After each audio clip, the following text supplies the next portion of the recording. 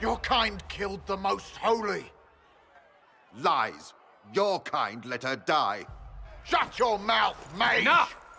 Knight Captain. That is not my title. We are not Templars any longer. We are all part of the Inquisition. And what does that mean exactly? Back already, Chancellor. Haven't you done enough? I'm curious, Commander, as to how your Inquisition and its Herald will restore order as you've promised. Of course you are. Back to your duties, all of you.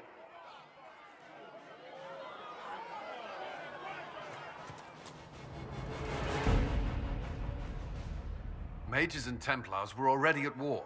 Now they're blaming each other for the Divine's death. Which is why we require a proper authority to guide them back to order. Who? You?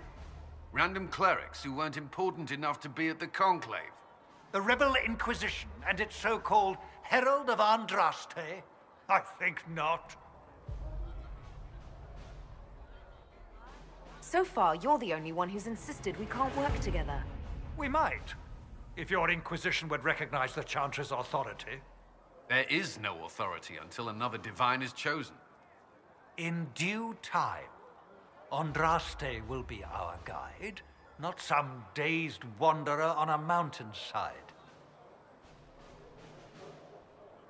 Remind me why you're allowing the Chancellor to stay? Clearly, your Templar knows where to draw the line. He's toothless. There's no point turning him into a martyr simply because he runs at the mouth.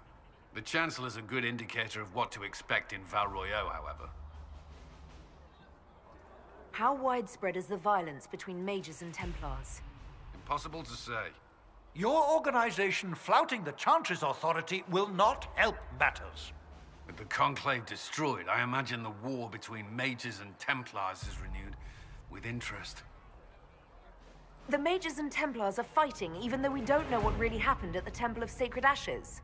Exactly why all this should be left to a new divine. If you are innocent, the Chantry will establish it as so. Or we'll be happy to use someone as a scapegoat. You think nobody cares about the truth? We all grieve Justinia's loss. But you won't grieve if the Herald of Andraste is conveniently swept under a carpet. Don't let anyone riot while we're gone. The walls will be standing when you return, I hope.